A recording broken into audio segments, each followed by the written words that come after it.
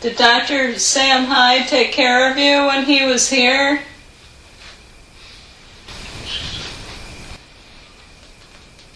Hey, you.